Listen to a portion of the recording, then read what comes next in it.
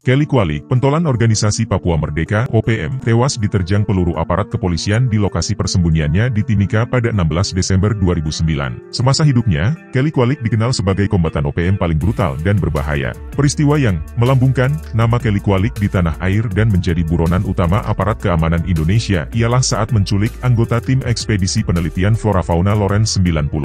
Penyanderaan itu berlangsung pada 8 Januari 1996.